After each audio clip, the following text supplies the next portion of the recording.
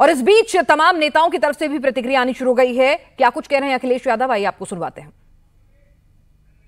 और सरकार की जानकारी में होने के बाद भी इतनी बड़ी घटना हो जाए बहुत दुखद है।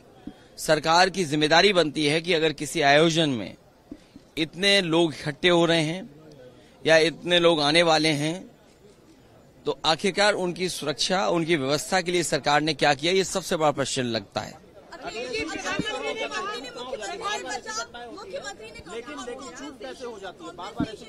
देखिए, जब तक आप किसी आयोजन पे शुरुआत में से लेकर के अंत तक ध्यान नहीं देंगे तो ऐसी घटना ही होंगी। इसके लिए जिम्मेदार अगर कोई है तो वहाँ सरकार जिम्मेदार है। मरने वालों की मदद हो, उनके परिवार के लोगों का पूरा इंतज़ाम हो, जो अगर घायल हैं, जिनको इलाज की ज़रूरत है, हमें उम्मीद है कि सरकार उनका इलाज अच्छा कराएगी।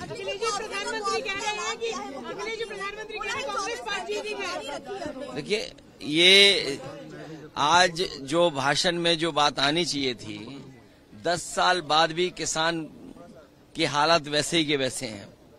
किसान की आय